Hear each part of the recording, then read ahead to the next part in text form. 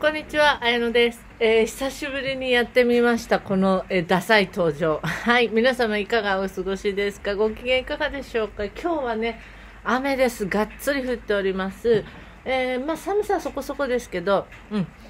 なんかさ、でも、あの乾燥してたりするから、なんかやっぱ雨、え心地いいですね。はい。えー、今日は、えー、久しぶりに宇宙的雑談ですね。その前にいくつか、えー、ありがとうございますというお話なんですけど、インスタグラム、あの、ちょこちょこフォロワーが増えておりまして、本当に嬉しく思っております。はい、皆さんのが見てくださってるっていうのもね、すごい私の支えになってますので、またこれからね、えー、ちょこちょこアップしていきたいと思います。ちなみに、うんと、インスタね、ユニバーサウンドのアカウントで出してるんですけど、二人投稿者がいます。一つは、えー、私、綾野です。で、一つはユニバーサウンドのメンバーでですね、えっ、ー、と、彼女は、あ、まあ、女性の方なんですけど、えっと、私がね、リーディングを、あの、チャネリングをしてね、まあ、出会った方なんですが、えっと、その魂の成り立ちっていうか、どういった関係、アルクトゥルスとなんかつながりがあるっていうような、えー、話だったりして、それをちょっとこう、紐解いてね、昔の、あの、そういったものをリーディングした時にですね、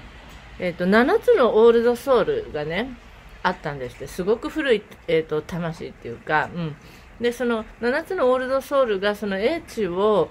持ったまま一つに融合して新たなね意識体というふうに形成された時にそれが、まあ、まだ不安定ですからアルクトゥルスのそのバイブレーション、まあ、周波数の中で育まれて、まあ、安定した一つの意識体として成長していったっていうそんな感じなんですね。だから私もこう、まあ、実際記憶があるのかないのか微妙ですけど、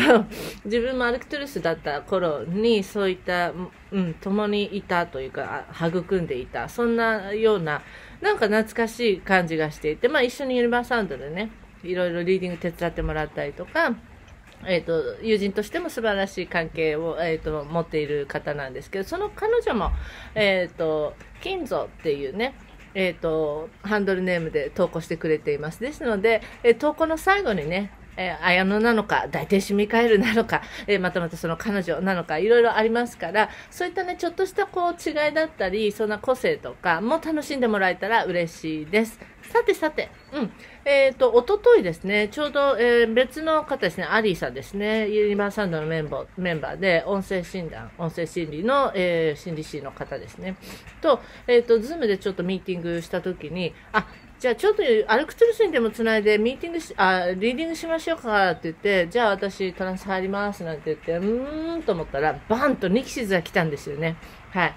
久しぶりじゃないですか、お父ちゃん。はい。えー、最近私の YouTube に出会いましたっていう方は、ニキシズって誰ですか？だと思うんですけど、ニキシズは、えっ、ー、と、初めてね、人類にコンタクトした。まあ、人類が、えっ、ー、と、チャ、チャンネルとして、えー、それを言葉に変えて、まあ、メッセージを伝え出したという、そういう存在なんですけど、うん。えっ、と、天の川銀河をね、作っ、えー、大いなる意識の3分の1っていうようなことを本人団ですね、名乗ってました。本当かどうかはね、えー、調べようがないんで分かりませんけど、まあ、本人そう言ってます。で、今は、えー、純粋に天の川のこの象徴的なエネルギー、意識体ですっていうふうな、えー、ことを言っています。で、まあ私もだって去年、一昨年ぐらいの秋、冬かに初めてネキシズとコンタクト取ってから、まあ、あんまりね、そんなちょこちょこさ、あの、元気？みたいな、こういうのとかしないんですけど、ニキシ最近どうしてんの？みたいな、そういうのは全然ないんですけど、えー、この前久しぶりにニキシーズの、えー、エネルギーを下ろして、まあそれを、まあライトランゲージですとかね、言葉にしたりとか、そのままダイレクトで、うん、チャネリングしてた時に、あ、なんか私たちのなんかこう、コミュニケーションすごくスムーズっていうか変わったなっていうふうに思いますね。これ人人同士でもそうだと思うんですけど、やっぱ初めましての時ってさ、お互いさ、なんかこう探り合ったりとかさ、えー、ね、するじゃないですか。素性がわかんないとか、なんだろう、この人とかさ。うん。まあそう言いながら最初のなんかフィーリングでなんか好きだなって思ってみたりとか、まあそういう情報があるないに関わらず、最初ってね、少しこう、うん、お互い距離があったりするんだけど、やっぱこう、これを持つにつれてだんだんこう、信頼関係が生まれてきたりしてコミュニケーションもどんどんスムーズになったりお互い共有してるものも増えれば共通の認識も増えるみたいなね、まあ、私とニキシズもなんかそんな感じだなと思って、うん、すごくこう前はね結構エネルギーも強烈だったから身構えたりするようなところがあったけど今は全然、うん、もっと,、えーと、ラフに、うんえーと、構えることなく コミュニケーションできるようになりましたかね。また皆さんにもね、そういったミキシーズのエネルギーを、えー、繋いだりとかチャネリングしたりね、えー、することもしたいなと思います。あ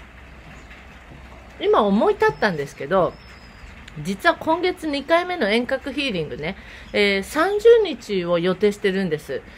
で、ちょっとウェブサイトの方が今作業中でですね、え申し込みページがまだオープンしてなくて、アルクトゥルスで行こうと思ったんだけど、ニキシズで行きましょうか。今、ふと思っちゃった。うん。まだね、あの、申し込みページアップロードしてないから、じゃあここで宣言します。えー30日土曜日だったかな、えー、いつも通り午前11時からの遠隔ヒーリングで、まあ、え、ー、と、24時間以内に、えー、好きなタイミングで受け取れるという、え形になっています。下ろしていくエネルギーは、じゃあ、ニキシズにしましょうか。はい。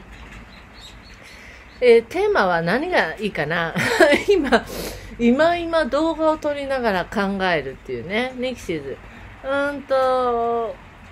まあ、ちょっとこの前その、そうそうそう、きっかけとなってね、そのアリーさんとの対話でチャネリングしてた時のニキシズのメッセージっていろいろなテーマに及んでいてね、すごく面白かったんで、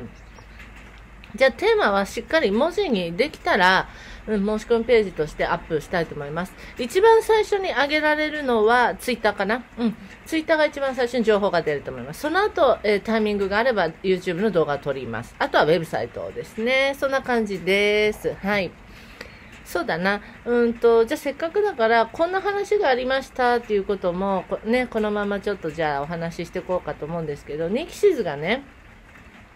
伝えてきて、今私たちに必要なあり方っていうかさ、どんな風な、えーえー、状態っていうかさ、どんな感じでいたらいいんだろうっていうか、何をしたらいいんだろうってことは私たち聞かないんですよ。するっていうのは、その人、個人個人のね、うん、環境や状況によって違った選択ですから、何をするべきかってことは聞かない。どんな状態である、うん、自分自身のあり方についてそういうメッセージもらったりするんですけど、人気シーズはね、えー、自分自身の良きメンターになりなさいって言ったんですよ。うん、どういうことかっていうと、まあ、メンターってさ、例えば、まあ、師匠だったりさ、自分をインスパイアするような素晴らしい人だったりすると思うんだけど、えー、そういったね、素晴らしい、優れたメンター、人に素晴らしい影響を与えたりとかしていく人っていうのは、何かを指示したりとかね、しないんだと。で、何かを、あなたこれしちゃダメよみたいな方の指示ね、制限もしないと。で、えーそれはあなた正しいよとか、間違ってるじゃないとかっていうふうに、裁いたりもしないよって。うん。常に問いかけるんだよ。それってどういうことなんだとかさ、こういうふうなことはあなたはどう思うんだとかさ、考えるきっかけを与えてくれるね。だから、その、こちらの能動的なね、エネルギーを引っ張り上げてくれるのがメンターなんですけど、私はね、私の解釈では。で、そのように問いかける、何かチャンスや機会をこう与えてくれる存在であったりとか、あとは純粋に、えー常に共にあるよって、うん、いうふうに寄り添ってくれている人。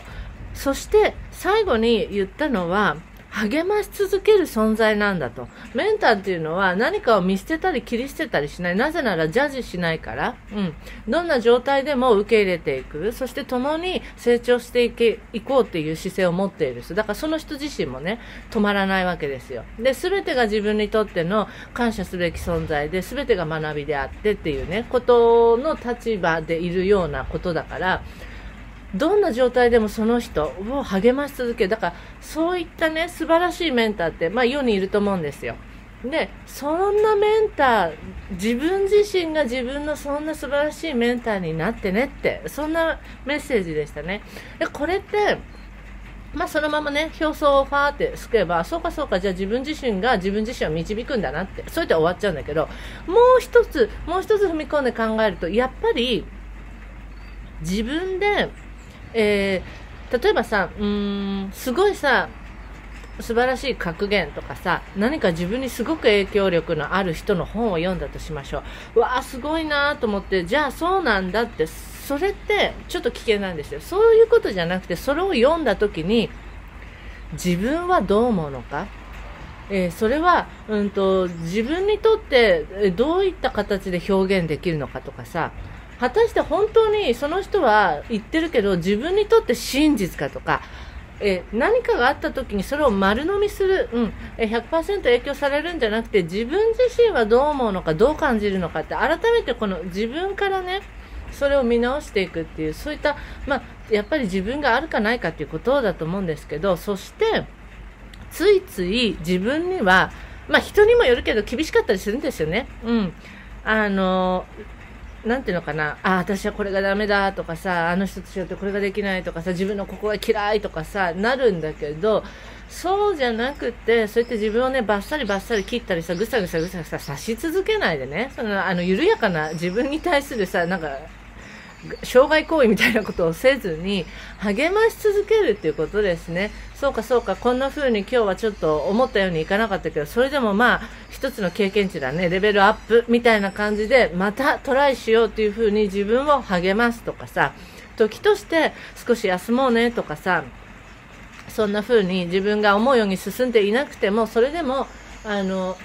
何何一つ無駄にしてないよね、とりあえずでも今日は寝ちゃおうかみたいな風に寄り添ってみたりとか、え自分に優しくするっていうこととまたちょっと違うんだけど、常に自分をえ励まして共にあって自分自身に問いかける。そんなね自分の中のメンターっていう心強いような存在感を持てたらいいんじゃないかなと思うんですよ。うん。やっぱ不安だったり、恐れがあったりとか、自分にこう、信頼感がなかったり、自信が持てない時っていうのは、誰かが何かもっともらしいことを明言してくれるのを待ったりとか、こっちだったらうまくいくぜ、みたいなさ、道をこうね、引っ張ってくれる人を待ったりとかね。うん。あとはこういうのもあるあると思います。科学的なデータとかさ、